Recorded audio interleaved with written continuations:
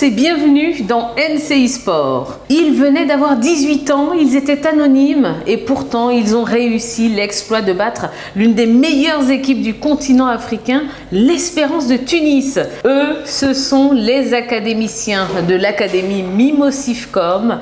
23 ans après cet exploit, ils se racontent, découvrez leur histoire inspirante, les sacrifices qu'ils ont dû faire pour y arriver, des anecdotes inédites et enfin ce qu'ils deviennent aujourd'hui. NCI Sport, le Grand Vous plonge à travers cette aventure palpitante. Un documentaire signé Stéphane Zunon, Armel Yao, Hervé Kiessé et Marco Seri.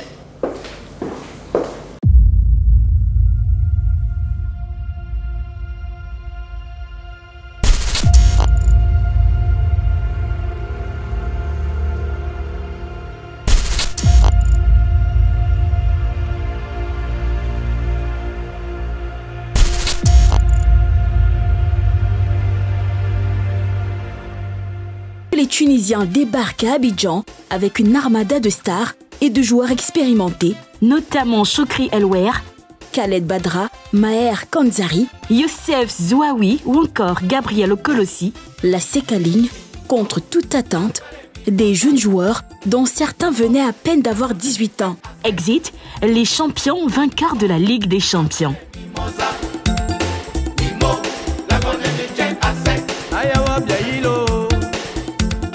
Incompréhension chez les actionnaires et le public au stade Félix Houphouët-Boigny qui découvre pour la première fois ce groupe composé d'Aruna Dendane, Zezeto, Kopabari, Madinho, Badjan et les autres.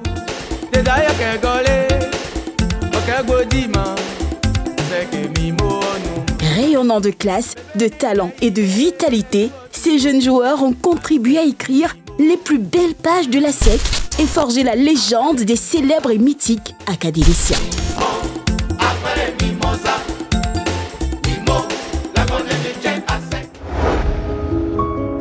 À Abidjan, dans le village Atchan de Mputo, dans la commune de Cocody, se trouve un lieu sacré pour les passionnés de football, Solbeni, le centre d'entraînement de la SEC Mimosa.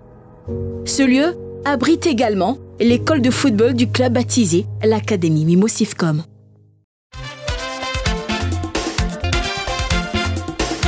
Mon nom à l'état civil, c'est Begré Aïba Yaman. Je suis plus connu sous le nom de Pacheco. Je suis Tony Couton, enfant d'Adjamé. Je viens de d'Abobo. Je suis né, j'ai grandi là-bas. Je suis né donc dans un quartier qui s'appelle Abras, dans la commune d'Adjamé. Un lieu où les rêves naissent, se construisent, prennent forme se transforment en réalité.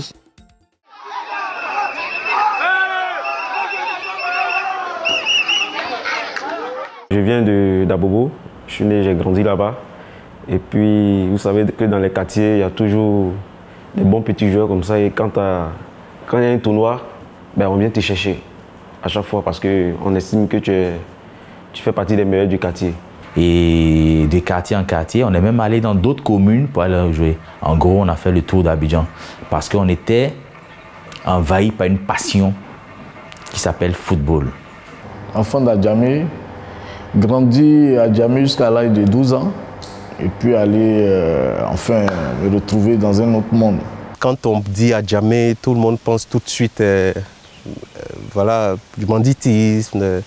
Mais non, ce n'est pas véritablement ça. Adjamé, c'est une commune qui a, donné beaucoup, beaucoup, beaucoup de joie à la Côte d'Ivoire.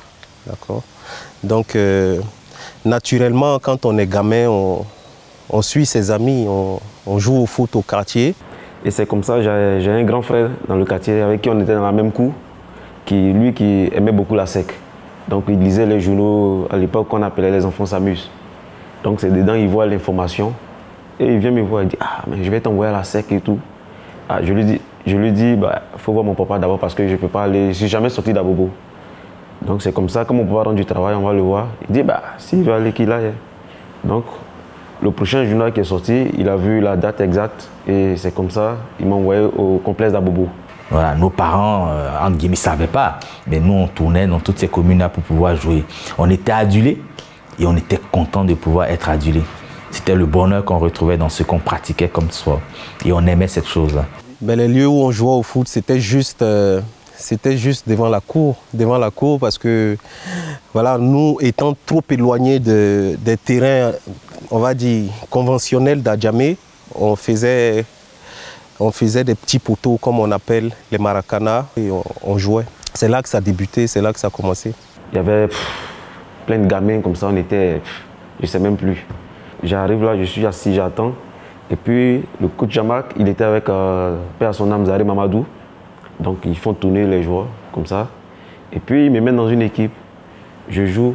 Je fais même pas trois minutes et ils me mettent de côté.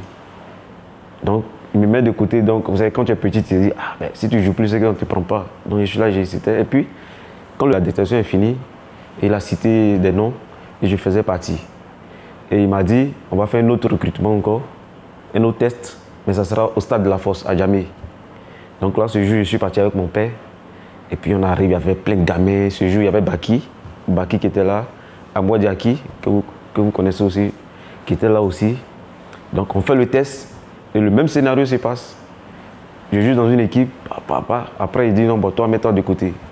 Donc j'avais toujours peur, je dis mais à chaque fois on me met de côté. Donc les, gamins ils sont passés plusieurs fois, mais moi je suis passé qu'une une seule fois.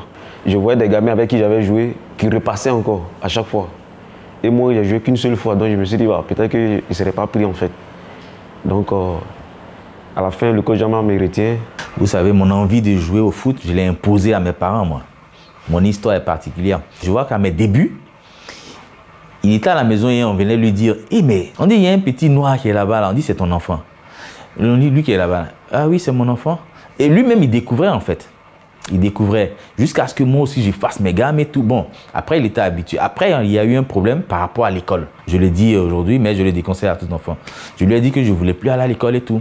Je me souviens même qu'il m'a envoyé chez ma tante, faire deux jours chez ma tante à Djamé, pour que ma tante arrive à me convaincre. Non, ça a été en vain, quoi, je veux dire. Ça m'a fait un petit voyage, une petite balade, mais bon, la tante n'a pas, pu faire grand-chose. Ça n'a rien changé à mon envie, à ma passion. Et le père, après, au final, il était obligé d'accepter que ce que je voulais faire, c'était le foot. Quand j'allais à l'école, euh, je prenais des, des, papiers et je mettais dans un sachet pour rendre ça un peu une petite boule pour qu'on puisse jouer. Et je jouais ça avec euh, mes amis de classe, tout et tout. C'était football. Il y avait Baki, Kolo, moi et, Yaya.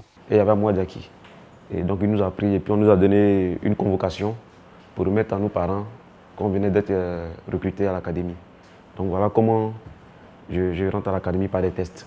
Euh, il y avait une équipe de quartier qui s'appelle, notre équipe de, la commune, l'équipe de la commune d'Adjamé qui s'appelle les inconditionnels d'Adjamé. Et cette équipe était inscrite donc, euh, dans le tournoi qu'avait organisé le coach Jamac. Et c'est là qu'on a été repéré. À l'académie, il y a eu deux phases. Au départ, on n'était que 8. On n'était que 8 et on n'était pas internés. Les jeudis, on n'allait pas à l'école. Et samedi matin, on partait à l'école, mais l'après-midi, il n'y avait pas d'école. Donc, c'est les deux jours qu'on utilisait pour faire les entraînements à l'académie. Donc, on venait le jeudi, on s'entraînait, et le cas partait nous déposer. Et le samedi après-midi, le cas nous récupérait, on venait s'entraîner. Pendant un moment, parce qu'on était huit.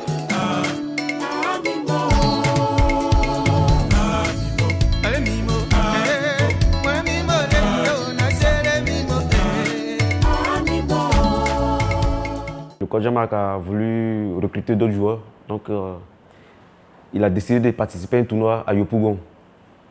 Donc, on, va participer au tournoi à Yopougon et on tombe contre euh, une équipe à l'époque qu'on appelait Africa là-bas. Ils étaient grands, donc on, avait fait le premier match, on les avait gagnés 3-0. Et le deuxième match, ils nous ont, nous ont laminé 5-0. Et ce jour-là, je crois qu'on a recruté Charlton aussi qui est rentré à l'académie parce qu'on avait un joueur en moins. Donc lui, il était arrêté là. Donc le coach m'a demandé, je veux un joueur. On dit, bon, lui, il est bon. Et c'est comme ça, Charlton, il est rentré à l'académie. Et comme le coach il a constaté que les gamins là-bas, ils étaient plus grands que nous, plus costauds et puis un peu plus vieux. Donc c'est comme ça, il décide de faire un tournoi à Solbeni. Quand nous sommes arrivés à l'académie, comme joueur, il y avait, il y avait déjà Zezeto, il y avait Amoa Diaki, il y avait Nemarco, il y avait Jos, P. Jocelyn à qui je fais un petit coucou. Il y avait Junior, il y avait pas mal de, joueurs. Nous, nous, Colo, moi, quand même, on est parmi les, derniers à avoir, intégré la première génération. Donc, c'est pendant ce tournoi qu'il a recruté Yapi, Zokora, bon, tous ceux qui connaissent Aruna, Kolo, Romaric. Euh. On était très heureux, très ravis d'être là-bas, d'autant plus que on savait que les installations là-bas, c'était quand même quelque chose de bien. Ils avaient une pelouse, ils avaient quand même des installations, c'est sol béni, c'est la sec. Donc on était très ravis d'intégrer cette école-là parce qu'on savait que les conditions étaient bonnes et ça pouvait, ça pouvait nous faire progresser. Quand je suis arrivé à Solbeni, j'ai cru que j'étais en Europe. On n'avait jamais vu ça ici. Sais, nous, quand on est petit, quand on voit un blanc, on est un peu... Voilà. On arrive, je regarde et dis, mais ici, c'est en Côte d'Ivoire. Mais je me pose des questions. Mais je ne me sentais pas académicien parce que dans ma tête, je venais faire un essai. Peut-être ça allait durer une semaine. Mes jeunes frères, les Zézé, c'est mon vieux père même. tu vois, je les vois et quand tu les vois, ils sortent, ils sont propres, tout beaux. Ça te donne envie de, jouer avec eux. Il dit, bon, je vais montrer de quoi je suis capable. Et le tournoi là, je te jure que mon premier match, le coach Jean-Marc, il a demandé, mais c'est qui ce petit là? Et après, l'entraînement, le coach est venu, ils m'ont donné ma tenue. C'est là que je me suis senti vraiment académicien. Parce qu'à SEC, ça a toujours été mon équipe depuis fort longtemps. À cause de ma mère, parce que ma mère, elle supportait aussi la SEC, mais mon père, il était africain. Il y avait comme ça un jour, euh, ASEC, a perdu. Et puis mon papa a commencé à se moquer de la vieille, sa maison. Et ma maman pleurait, tu vois. Mais nous, on est petits, on ne sait pas. Mais vu qu'on a su que c'était à cause du match, mon papa, il était heureux. Mais qu'est-ce qu'il y a là, la SEC Je pouvais jouer les autres matchs, mais Africa, je n'ai jamais fait un match contre l'Africa sans marquer. Jusqu'à ce qu'il parte. Et le but de la SEC. Le premier but de la SEC sur. On a dit, cette défense, il y avait de l'espace devant et ça s'est vérifié. Il fallait que je tue l'Africa pour montrer que l'Africa. Moi, je ne supporte pas l'Africa. Hein. Jamais. Je n'aimais pas. Hein. Jusqu'à aujourd'hui, mais je n'aime pas l'Africa. Je suis le dernier à rentrer. Et je me souviens que le coach Jean-Marc hésitait. Pas à cause de mes qualités, mais à cause de mon âge qui était un peu plus avancé. Je crois que j'avais un an de plus par rapport à ceux qui recrutaient. Et ça commence comment déjà? À l'académie à Solbeni. Il y avait un tournoi dénommé euh, tournoi Mimosifcom. Dans ce tournoi, il y avait toutes les, bonnes équipes des différentes communes qui participaient. Il y avait Abobo, il y avait Adjamé, il y avait Yopougon, il y avait Kumasi, pour ne citer que ceux-là. Et les matchs se déroulaient les mercredis après-midi et les samedis matin. Donc moi, j'étais euh, de l'équipe de Zoma, une équipe de Yopougon. Et euh, mes performances étaient vraiment bonnes. J'avais de très bonnes performances. Mais sauf que le coach Jean-Marc hésitait par rapport à mon âge. Donc qu'est-ce qu'il va faire? Il réfléchit, il réfléchit, et puis il me dit, il dit euh, je ne peux pas le laisser comme ça. Parce que ce serait, ce serait une perte. Donc à cause de moi, ils ont fait l'équipe réserve de la SEC. Et dans cette équipe réserve-là, je passe maintenant pour le plus petit. Et maintenant, il y avait des personnes aussi euh, un peu plus âgées qui, constituaient cette équipe-là. Sauf qu'après un an, un an, euh, l'équipe réserve n'est pas restée. Et le coach ne voulait quand même pas que je parte comme ça au quartier. Donc 4-5 euh, semaines, ils étaient à la recherche de quelqu'un de particulier, de, enfin de différent. Ils voulaient un enseignant mais qui puisse, au-delà de l'enseignement, faire des propositions concrètes, euh, adapter une sorte de formation qui soit typique aux footballeurs. Je vais voir Jean-Marc Guillou qui me dit, bon voilà, euh, qu'est-ce que tu penses du système scolaire? Je dis, je le trouve ennuyeux, j'estime qu'il faut inventer les choses, qu'il faut changer le programme. Il dit, on commence demain. Les parents qui voient leur enfant avoir l'opportunité de continuer l'école au sein d'un centre de formation de football, mais ils sont rassurés. Deuxièmement, c'est aussi un espoir pour certains parce que lors du recrutement, on a constaté que 80% de ces enfants étaient déscolarisés. Moi, mon rêve déjà, c'était de, rentrer à l'académie. Ça faisait que l'école ne m'intéressait plus. Et j'ai même dit euh, à mes parents que moi, je ne voulais plus aller à l'école, je voulais euh, ces ballons ou rien. Jean-Marc c'est un blanc, il va vous parler en français, mais si tu ne comprends pas le français, tu fais comment? Tu ne pourras pas jouer au foot. Et comme le foot, c'est leur passion, une fois que tu leur dis, pour réussir au foot, il faut aller à l'école, que c'est nécessaire, c'est une motivation supplémentaire. L'avantage quand tu rentres à l'académie, c'est que tu es pris au niveau scolaire, tu es pris en charge dans tous les, domaines. Tes parents n'ont plus rien à, dépenser, n'ont plus rien à truc. Donc quand un parent sait que son enfant rentre à l'académie, bah, il, est, tout heureux. Il est tout heureux parce qu'à l'académie, il arrivé à vivre sa passion, à vouloir réaliser sa passion. Et puis encore la chose la plus importante, c'est qu'il n'arrêtait pas l'école. Donc les parents, je pense que quelque part, ça ne posait plus de problème à ce niveau-là. Déjà à l'école, on avait du mal. Vous savez, quand tu as bobo, vous êtes en classe, vous êtes au moins centaines de personnes, donc c'est difficile que, le, que le maître donne des cours à tout le monde, c'est difficile. Et on avait un peu de retard chacun de nous. Et après, quand on a eu l'école euh, à l'académie, on a rattrapé avec notre professeur Sapia, bon, Michel Kipré et puis les autres. On a pu rattraper le retard qu'on avait. Et c'était difficile aussi pour tous ceux qui ont fait l'école coranique parce que, comme dans Soko, euh, Badjan, bon, c'est carrément une rébellion contre l'école parce qu'ils ne comprennent pas qu'ils apprenaient, c'est pas l'arabe. Et puis bon, on vient, on dit, on qu'à parler français, mais on ne peut pas faire une phrase sans parler son, son, son, son djoula. Chaque fois, il était repris ou bien on se moquait. Donc, ces enfants-là, c'était un peu. Ils n'avaient pas la même motivation que les autres. C'était difficile au départ. Ils ne viennent pas du même milieu. Et quand ils arrivent, tu en as un qui est en quatrième. Tu peux en avoir un qui est au CM2. Et tu en as un qui n'a pas fait l'école. Mais tu ne peux pas reconduire le schéma classique. C'est comme ça que nous, on fait notre programme scolaire. C'est comme ça qu'on a l'idée de faire notre programme scolaire. Donc tu ne vas pas lire les quatrièmes ensemble, si les seuls, les secondes ensemble, les premières, les, troisièmes et puis les, les, maternelles ensemble. Tu ne peux pas faire ça. On les prend en groupe et on cherche le lien commun. Quelle matière commune tu peux faire malgré la différence d'âge? Quand tu prends deux enfants, tu joues dans la même équipe, les deux sont attaquants, il y en a un qui ne sait pas écrire couteau, il y a un qui sait faire une dictée. Tu les mets pas ensemble? Si, il faut les mettre ensemble. Il faut les mettre ensemble pour amener celui qui fait la dictée à aider celui qui ne sait pas écrire couteau. Mais tu es là pour superviser. Pour faire quoi? Pour faire du foot. Parce que le foot, c'est le partage, c'est la transmission. Je ne vais pas faire l'intéressant en disant que la, formation scolaire était une priorité, si c'est vous dire n'importe quoi. Seulement, je peux vous dire qu'on faisait des cours de culture générale. On faisait euh, des cours un peu comme euh, les élèves dans les écoles de façon normale. Mais en plus de cela, on avait une culture générale. Comment parler, comment s'exprimer, comment s'exprimer devant le public, comment euh, lier un contrat, comment euh, des choses qui ne se faisaient pas dans des écoles euh, classiques en dehors de, l'académie. Des personnes sont venues avec des projets, mais des projets strictement footballistiques. On veut prendre un joueur, comme on a fait pour Youssouf Fofana, il faut qu'il aille à Monaco. Mais là, c'était un projet sur le long terme, sur le bon terme aussi.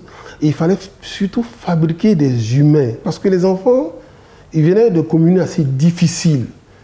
Ils venaient pas d'endroits où euh, ils avaient fait, ils avaient vu Baudelaire, ils avaient vu tous ces gens, non. Ils venaient des fois, il y en a qui avaient arrêté l'école déjà. Donc il fallait les ramener vers l'école sans que ce soit l'école. Parce que l'école les avait traumatisés. Donc c'est des enfants qui ont des scolarités un peu branlantes, qu'il faut rassurer, à qui il faut donner, euh, pas la crème, il faut donner les moyens, le goût de la lecture, le goût du travail, le goût du théâtre, le goût de toutes ces choses annexes-là qui forment une personne. Ce n'est pas uniquement le, foot, le Kojama qui nous a, et nous a vraiment éduqués, on va dire. Bien évidemment, l'objectif premier, c'était de faire, il, le disait lui-même, hein, c'était de faire des footballeurs. Mais avant d'être footballeur, il fallait qu'on soit des hommes. Donc euh, il a beaucoup insisté là-dessus, donc il nous a inculqué quand même des, valeurs. Euh, peut-être, je sais pas, mais peut-être si vous partez à l'académie, vous verrez, ça je ne l'oublierai jamais. Tu seras grand si tu sais être petit, ça c'était la maxime à l'académie. Donc il nous a quand même donné pas mal d'outils comme ça pour qu'on puisse s'en sortir dans la vie. Et maintenant on le voit, on le sait, parce que le football c'est passager et après tu as la vie qui continue. C'est 90 minutes un match de foot. Mais en dehors de ça, tu es un homme comment tu parles à ta maman, comment tu te comportes? Aujourd'hui, ils me donnent raison parce qu'ils ne jouent plus au foot. Qu'est-ce qu'ils font? Il faut faire un centre de formation. Comment tu le fais? Est-ce que tu sais lire un peu de droit? Est-ce que tu sais, ne serait-ce que faire à manger, savoir les aliments, les protéines, tout ça? On a fait tout ça.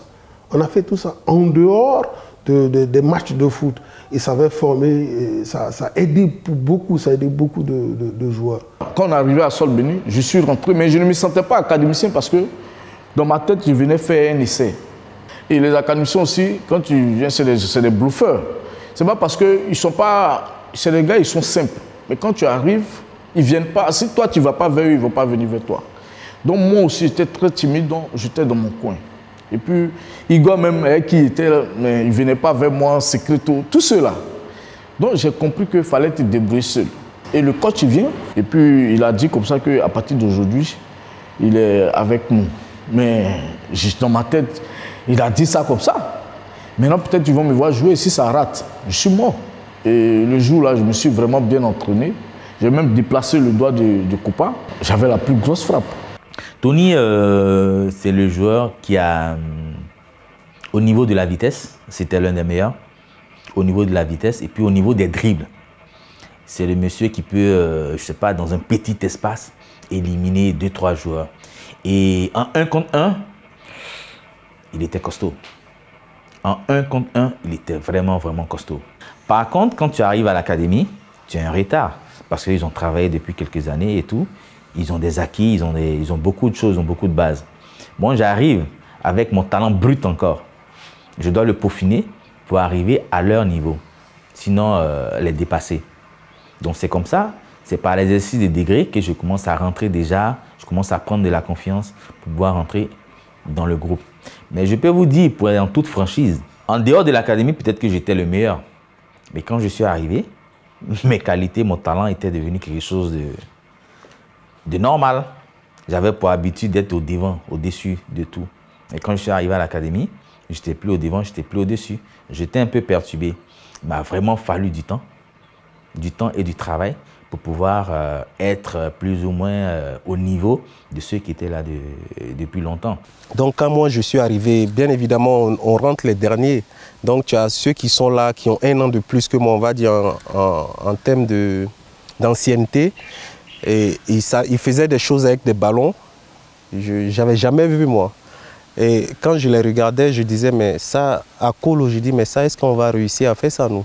Il y avait des footballeurs à l'académie qui étaient capables d'amortir une brique. Mais là, après, quand il a amorti la brique, qu'est-ce que tu fais? Tu dois expliquer ça scientifiquement. Ce n'est pas du foot, c'est une loi physique. Parce que quand la balle arrive, il ne s'agit pas de mettre ton pied, tu dois épouser la course de la balle, de la brique, du pain, de n'importe quoi, et descendre avec elle. Ça, c'est une loi physique qu'il fallait expliquer. Donc, c'était tout ça la formation. Ce n'était pas juste taper dans le ballon, marquer des buts. Nous, on savait jouer sur le terrain, mais après, la technique en dehors du terrain, c'était un petit peu compliqué. Et le coach, il nous a expliqué comment il fallait faire. Mais c'est comme ça tu joues dans le match, tu veux jouer toi, les autres s'adaptent à toi. Est-ce que tu dois aller là-bas? Est-ce que ton jeu est où? Et on l'a fait, et c'était pas ça aussi, on l'a réussi aussi. Lire, c'est pas seulement prendre un bouquin pour s'évader. Mais qu'est-ce que c'est que conduire une voiture? Si c'est pas lire la route Mais c'est ça, lire le terrain, c'est prendre les informations avant que la balle soit à ta disposition. C'est comme ça que tu gagnes, tu gagnes plus de temps. Parce que tu sais qui est déjà bien placé. Quand la balle arrive, tu as déjà joué en première intention tu as déjà donné la balle, mais tu ne vas pas arrêter, regarder, maintenant lire où est placé l'autre. Non, tu sais où sont placés, les deux sont ici. Donc c'est des choses qui, vont de pair. Il y a une chose vraiment qui m'impressionnait, c'est-à-dire euh, quand, quand ils se font des passes, quand un joueur de l'académie fait une transversale que son partenaire doit recevoir, mais toi l'adversaire, quand tu arrives pour, le contrer, tu n'as même pas le temps. Tu n'as même pas le temps. Soit à une touche de balle, le ballon est parti, soit par son contrôle, tu n'as même pas le temps d'intervenir. J'étais tellement impressionné par ce football-là, par cette technique-là, que j'avais vraiment envie d'intégrer l'académie.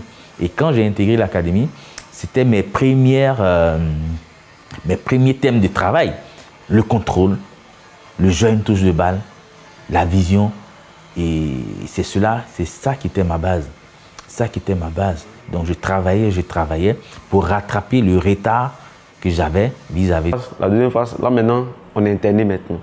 On était dans les années 1995, au réveil le matin, comme, euh, comme d'habitude, petit déjeuner. Ensuite, euh, entraînement, les groupes étaient scindés. Tu as un, groupe qui allait sur le terrain et l'autre allait donc en classe. Trois entraînements par jour. Et puis au fur, au fur et à mesure. Oui, on faisait on faisait des petits, des petits matchs. À l'internat, il y a une vie, je ne sais pas si je peux appeler ça le paradis, mais il y avait euh, un état d'esprit qui régnait autour de tous ces gamins-là. J'ai dit ces gamins dont je faisais partie. Quand on sortait, par exemple, les week-ends, quand on revenait, c'est Tony qui racontait toutes les histoires. C'est lui euh, qui était le centre d'attention. Et quand on s'assoit comme ça, quand Tony est assis quelque part, tu vas voir que tout le monde va venir s'asseoir à côté de lui. Parce qu'il avait toujours des histoires. On dit, oh, toi, tu es un menteur. Mais on vient toujours l'écouter. Parce qu'il va nous raconter des choses dans un point fini, des mensonges, que lui, il a déjà vu des fantômes, que lui, il a déjà vu ceci, il a déjà vu des jumeaux, il a déjà vu des revenants. C'est toujours lui dans son quartier. Il a vu un revenant, il a vu un fantôme, il a vu ceci. Les petits, là, je les frappais. Hein. Je ne riais pas avec le, le, les Chevinho. ouais, la deuxième promotion, en tout cas, je, je les mettais au pas. Les Lato Crespino. Lui et moi même, c'était. Je ne vais pas dire que c'était chez un chat parce que je le moins. Mais le problème, quand je le vois, je veux le tuer. Mais ça, je ne sais pas. J'étais bizarre. Hein. Mais en même temps, je ne dis pas que je suis le plus cool, mais je suis un peu le plus aimé. On écoutait Ziboasta à cause Tony. C'était la seule cassette qu'il avait dans son, dans son baladeur.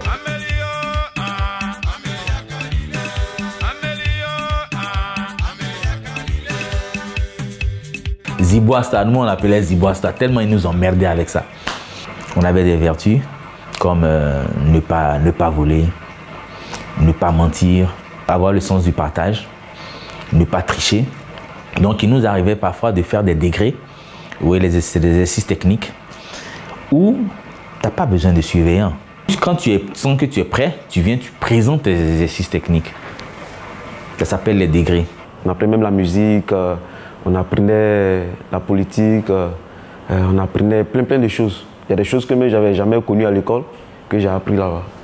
Et pour dire vrai, c'est là-bas, vraiment on a appris à s'exprimer parce qu'au départ, c'était vraiment difficile de s'exprimer. Bon, vous savez comment c'est quand on est dans les bacs c'est difficile de, bien s'exprimer. Donc l'académie nous a permis aussi de, bien nous exprimer. 10 livres en 4 semaines, ça donne à peu près 2 à 3 livres par semaine. C'était un livre tous les deux jours. Il n'y a pas beaucoup de gens qui le font. Les enfants que vous voyez de l'académie, là, ils ont fait ça. Notamment Marco, notamment Charlton, notamment euh, Topa Alexandre et tous les autres. Même ceux qui n'ont pas lu les 10 livres, ceux qu'on a trouvé ils ont lu 5 livres en un mois. Ça fait un livre par semaine. Mais ce n'est pas fait pour que tu deviennes littéraire, c'est fait pour que tu aies un autre rapport au défi. C'est pour changer ta façon d'approcher, ton approche du défi. Le défi, il faut le surmonter. On dit tu ne sais pas lire, tu lis. On dit tu ne sais pas marquer des buts, tu marques. Tu ne sais pas attaquer un grand joueur, tu l'attaques. Baki était doué quand même, il savait jouer un peu au piano, Aruna aussi. Et on a pris les notes de musique de Réa, donc on, apprenait un peu de tout. Hormis le football, on apprenait beaucoup de choses aussi. Baki, c'est un très bon pianiste. C'est un très bon pianiste. Baki joue au To Joy, la 9e symphonie de Beethoven. On l'avait fait en classe. Et je vais vous dire, on va, on arrive à, Monaco. On a, enfin, on a fait un contrat avec Monaco. C'est pas mal, ça se passe assez bien. Qu'on arrive à. C'est enfin, si vous voulez, c'est enfin, ça, ça arrive à épuisement en fait. Fin de contrat. Baki arrive. Euh, la scène se passe chez une dame un peu qui a un périmètre financier assez sérieux, donc qui, qui est à l'aise. Et Baki va, il, il s'approche du piano, il tire la chaise. Il déchausse le piano, il enlève sa nappe, il pose ses mains sur les touches noires et blancs, il joue l'hymne à la joie. Elle n'est pas sûre de bien entendre, elle lui demande. Il dit oui, c'est l'hymne à la joie, c'est la 9e symphonie de Beethoven et tout. Ça a été pour beaucoup dans le contrat. Ça a été pour beaucoup dans le contrat qui est reconduit. Tu as la formation, on va dire, sur le terrain et puis aussi tu as la formation dans la vie. Donc il nous a donné ces valeurs-là, d'être humble, d'être simple, d'être solidaire. Et Aruna qui m'explique qu'il va où il va en Russie, c'est en Russie, hein, Saint-Pétersbourg. Ils sont dans le hall et il descend, il y a un piano. Il va et puis il fait la même chose, on n'a pas beaucoup de morceaux. Il joue la lettre Elise, il enchaîne avec la voix. Le, président du, club, il change son regard sur lui, et ainsi de suite. Ça veut dire qu'on peut toucher les cœurs avec autre chose qu'une passe, avec autre chose qu'une reprise de volée. Donc quand vous formez quelqu'un, formez-le dans toutes ces entités. Il n'y avait personne qui trichait. J'ai dit bien, il n'y avait personne qui trichait. Toi seul, tu fais l'exercice là-bas.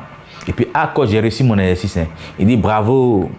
Quand je dis c'était le paradis, c'était vraiment le paradis. Parce que c'est seulement dans le, au paradis qu'on ne ment pas, on ne triche pas, on ne vole pas, on partage.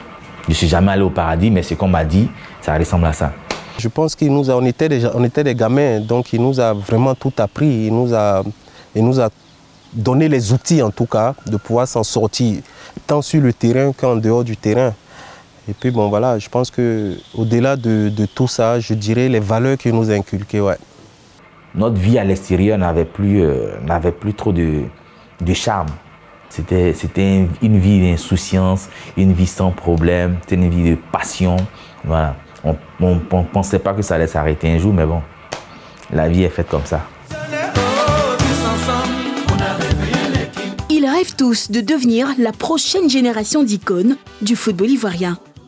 Choisis par les dirigeants des Mimos pour défendre les couleurs de la SEC lors de la Super Coupe d'Afrique face aux géants tunisiens de l'Espérance de Tunis, les académiciens n'ont pas tout de suite la confiance des actionnaires, les supporters de la SEC. Mais la suite des événements leur attire la sympathie de bien plus que les fans des jaunes et noirs. C'est toute la planète foot qui s'incline devant leur performance. Quand la direction de la SEC a décidé, avec l'accord de Jean-Marc que les enfants jouent contre l'espérance, on s'est dit, mais attends, il y a quand même un problème, parce que c'était que des gamins. Et en face, on avait des costauds. Et les enfants, particulièrement, n'étaient pas traumatisés. Ils étaient restés dans leur bonne ambiance, toujours gais, se taquiner, ils faisaient leur petit entraînement. Je pense que le match s'est préparé longtemps avant, sans mettre comme cible Espérance de Tunis. Avant ça, quand l'équipe première de la SEC jouait en Champions League, l'adversaire, nous on jouait le lendemain ou bien le surlendemain contre l'adversaire en question. Je prends un exemple. Si par exemple la SEC en Champions League joue contre, euh, je dis, je dis n'importe quoi, Orlando Pirates, deux jours après ou le lendemain, on joue, nous, à Sol Béni, contre Orlando Pirates. Parce que après euh, ces équipes-là, mettait, je crois, 3-4 jours avant de partir.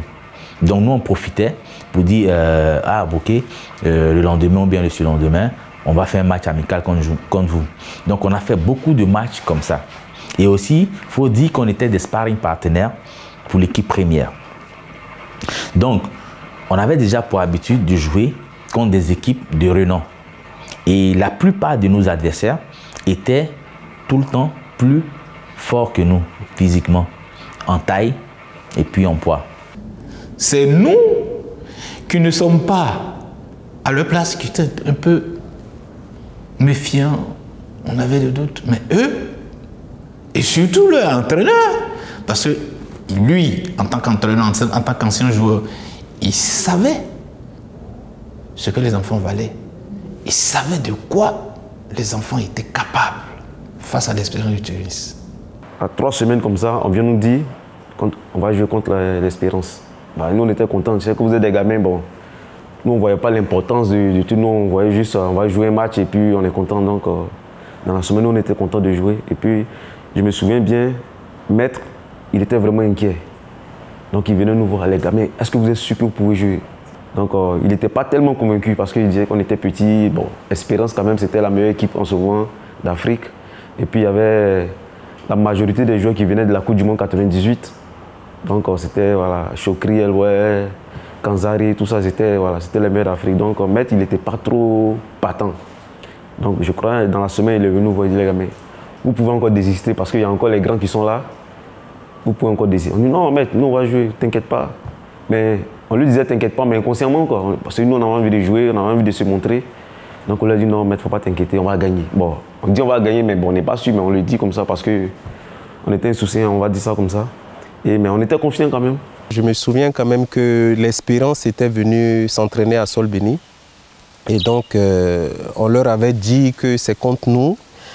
Ils allaient jouer. Je pense que même si j'étais à leur place, leur réaction, je pense que j'allais faire pareil aussi.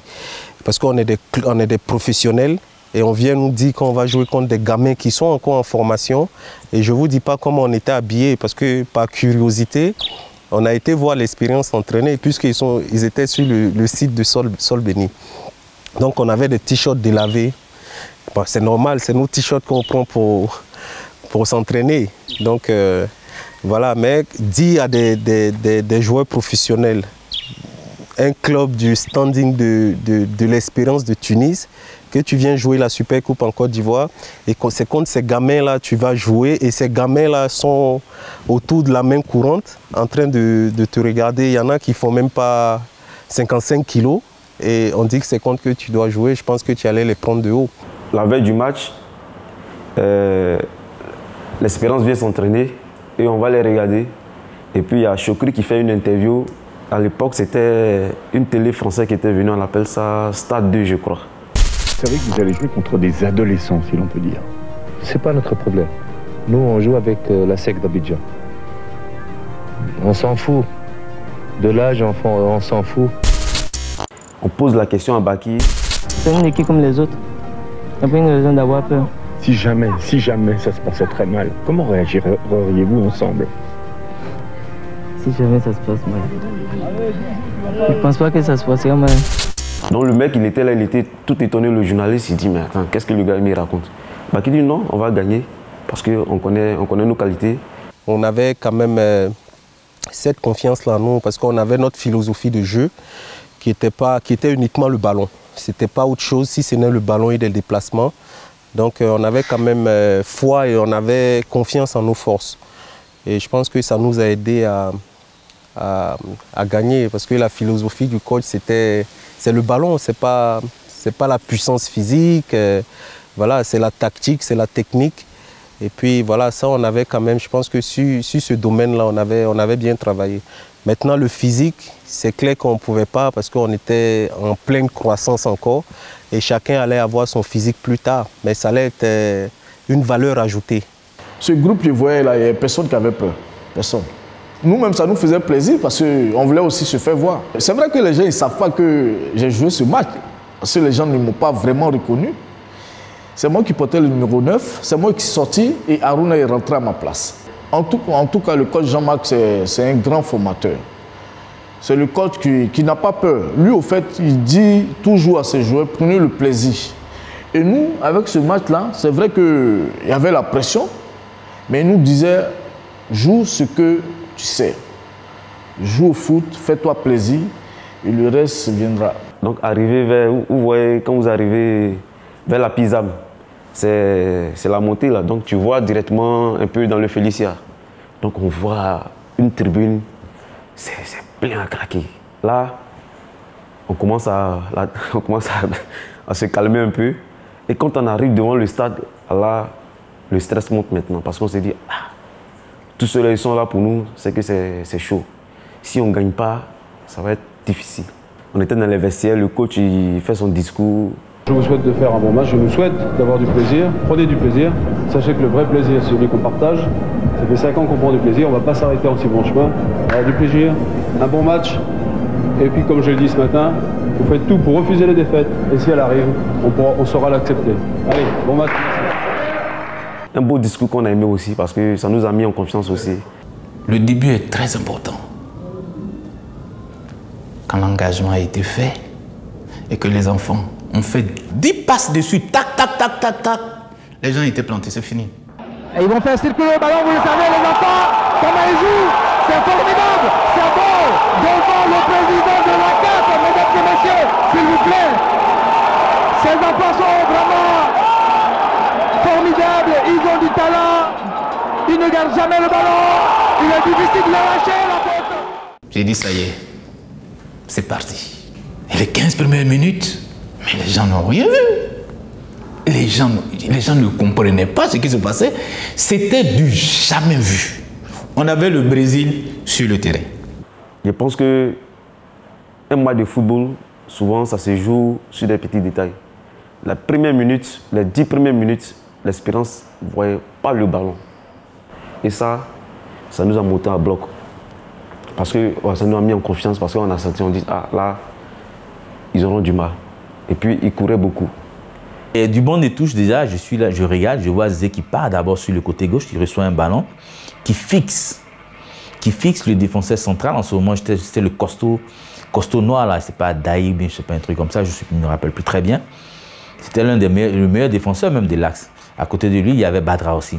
Donc, euh, cette charnière-là était, vraiment, euh, était vraiment costaud. Donc, à chaque fois que Zézé le fixait, il reculait, il passait son temps à reculer, il ne se livrait pas. Donc, on sentait de toute euh, la notoriété qu'il avait, de tout le poids qu'il avait, on sentait quelqu'un qui avait quelque part la crainte de se faire éliminer. Parce que Zézé, il avait cette finesse-là de pouvoir éliminer facilement. Et on le voit du côté gauche, qui le fixe, qui le fixe, il le fixe. Il regarde, ne, ne, défend pas. Il passe son temps à reculer. Donc Zé continue de fixer. Euh, son jeu aussi fixe. En fixant, je vois, euh, comment il s'appelle, la Joss, P. Joss, qui fait un dédoublement dans le dos de Zézé, ce qui donne une fausse piste. Donc Zézé a la possibilité soit de donner le ballon à Joss, donc les défenseurs qui est devant ne savent pas s'il faut qu'il aille sur Joss ou bien s'il vienne sur Zeto. Donc Zézé se sert de l'appel de Joss pour pouvoir avancer encore. Et il envoie une belle frappe de, je crois, d'une quarantaine de mètres pour, qui trompe euh, le gardien de but, l'un des meilleurs gardiens à cette époque-là de, de l'Afrique. Zézeto est à gauche avec le ballon, il va nous sortir du feu certainement. Zézeto à gauche, il va aller tout seul Zézeto, il va partir, il va tirer Zézeto, il va tirer, marquer. Oui, oui, Zézeto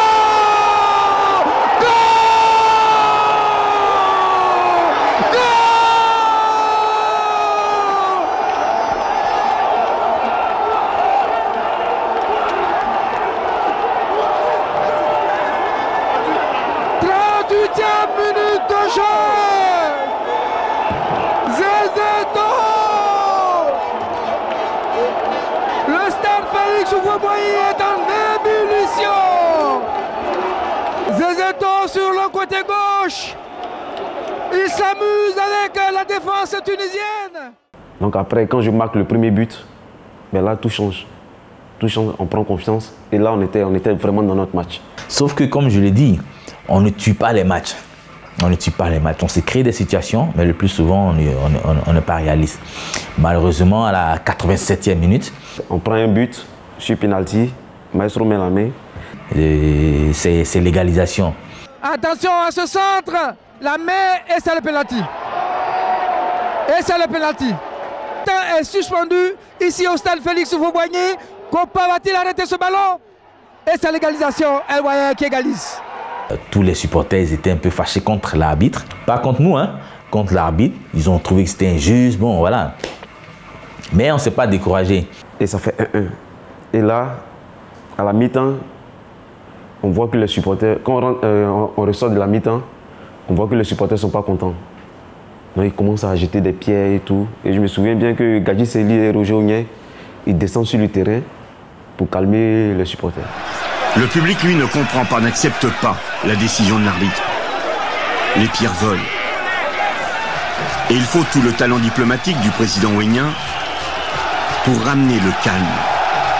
Le match peut alors reprendre. Et Roger Ognay, qui au départ, lui qui avait peur, lui qui n'était pas confiant, il descend, il calme les supporters et il leur dit on va gagner, on va gagner. Donc quand tu vois ton président qui n'avait pas confiance dire qu'on va gagner, je pense que on avait toutes les cartes en main. Moi, j'étais sur le banc toujours. Et le coach Jean-Marc me disait, Patrick, va t'échauffer. J'ai t'assure parce que la pression est montée d'un cran. Il y a l'égalisation. On risque de perdre et tout. Il dit, ah, dans ma tête, il dit, mais il veut me faire quoi là? Est-ce que je suis obligé de jouer? Donc, je fais il m'échauffe un peu et puis je m'arrête. Je suis concentré encore sur le, sur, sur le match qui est en train de se jouer. Et lui, il tourne sa tête, mais t'as pas envie de jouer quoi? Hé, chauffe-toi, je t'ai dit. Donc, je m'échauffe et puis je rentre. Mais une fois que tu rentres et que ta première touche te met en confiance, les choses partent comme ça. Donc je me suis senti, j'ai commencé à assurer ma première touche, j'ai fait une bonne, une bonne passe, ça m'a remis en confiance. Donc euh, par la suite, j'ai commencé à recevoir plus de ballons, j'étais plus à l'aise. À la deuxième mi-temps maintenant de, la prolongation, je récupère euh, encore euh, un ballon parce qu'on était sur les, dans le camp adverse des Tunisiens. Ils ont essayé de faire une sortie de balle qu'ils ont perdu. Je récupère le ballon. Je vois Aruna qui fait aussi l'appel. Je fais mine de donner là. Je fais un crochet et je pique le ballon pour Aruna. Des gris-gris, il en a plein les poches. Et les Tunisiens ne savent pas comment le prendre. Attention, ce n'est pas fini. Aruna lève la tête, il réussit le dribble. Et but But But But, but, but, but, Extraordinaire But de Aruna à la 11e minute de prolongation. La Seka prend l'ascendant. 2 buts à 1. Extraordinaire exploit technique de Aruna et but de la Seka Mimosa. C'est Pacheco qui sort d'un dribble et moi je suis sur le côté gauche. Donc il me passe le ballon et je suis pratiquement sur la ligne de but. Donc je ramène le ballon et quand je ramène le ballon, je vois que le défenseur anticipe pour le centre. Et donc je fais fin de frappe, fin de centre du moins, et le défenseur y va, et donc je fais un crochet. Mais quand je fais le crochet, il est tellement bien fait, par, je ne sais pas pourquoi, mais le crochet il est tellement bien fait que j'ai plus besoin de toucher le ballon encore. Et là, logiquement, c'est un retrait tout de suite. Logiquement. Et comme c'est un gardien très expérimenté, il s'est dit, mais automatiquement, ce gamin-là, il ne peut pas faire autre chose que de mettre le ballon en retrait. Donc il anticipe, et moi je le vois en train d'anticiper. Et donc qu'est-ce que je me suis dit? Comme moi je suis un peu fantaisiste, qu'est-ce que je me suis dit? J'ai dit je tente. Il anticipe, je le vois anticiper, je vais tenter, peu importe si ça passe, c'est passé, ça passe pas, tant pis. Et là j'essaye, et j'ai la réussite avec moi. Mais sinon, effectivement, je ne l'ai pas fait comme ça. C'est parce que j'ai vu l'anticipation du gardien. Mais attention, il joue bien le gardien. Il n'y a que ça à faire. Parce que tout joueur, quand tu es là-bas, les possibilités sont pas. C'est que c'est mettre le ballon en retrait pour qu'on marque. Et comme il avait de l'expérience, automatiquement, il a anticipé. Et moi, j'ai vu qu'il était en train d'anticiper la passe en retrait.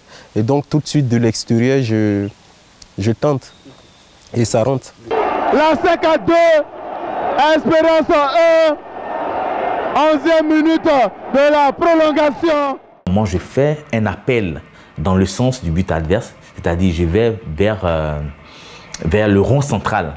Donc, d'une grande relance, Copa me retrouve. Et je vois Zezeto quelque part là-bas qui fait un appel. Donc, je mets le ballon dans sa course et tout seul, il va finir l'action. Et cette fois-ci, il n'y a pas de danger pour Zezeto. Zezeto, le face-à-face Zezeto, il est passé Zezeto. A marqué Il a marqué Il a marqué Le troisième but Goal Goal Goal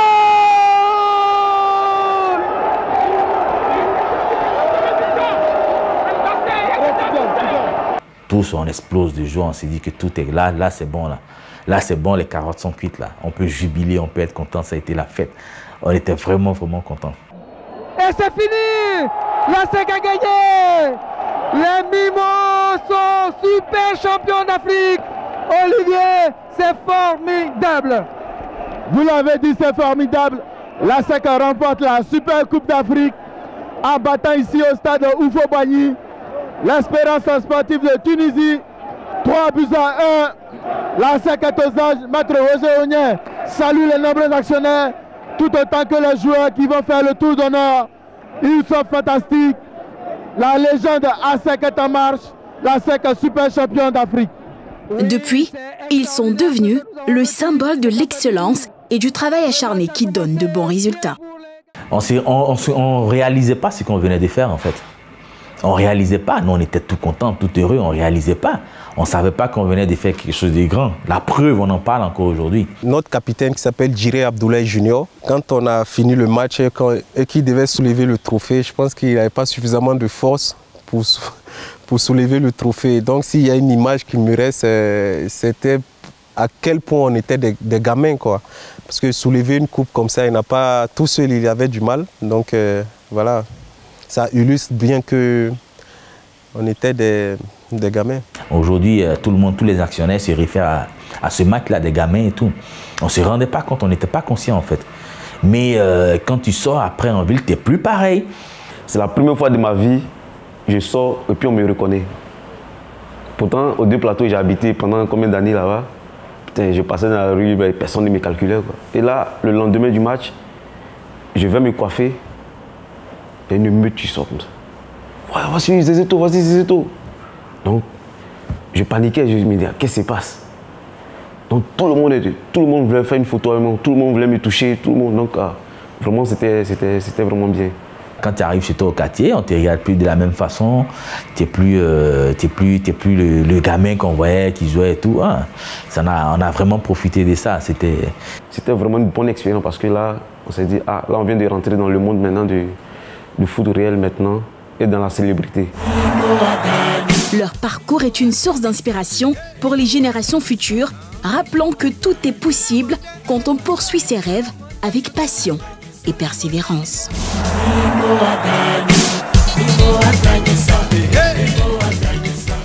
Eh bien voilà, c'est déjà la fin. On espère que vous avez passé une belle soirée en notre compagnie. Rendez-vous lundi prochain pour un autre grand doc et ce sera bien évidemment sur NCI, la nouvelle chaîne ivoirienne. Excellente soirée à tous.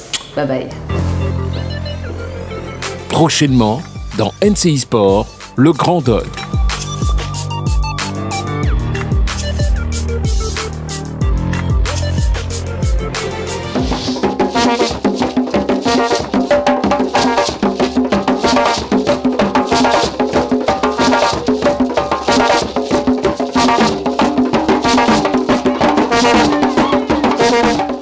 Voici ici réunis pour la 45e Assemblée générale ordinaire de la Confédération africaine de football en Côte d'Ivoire.